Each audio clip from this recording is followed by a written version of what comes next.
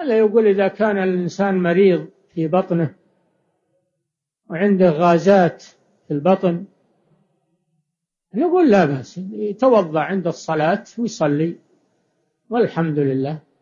ما يتوضأ بوقت طويل قبل الصلاة وإنما يتوضأ عند الصلاة قريب من الصلاة ويصلي ولا حرج عليه في ذلك إن شاء الله.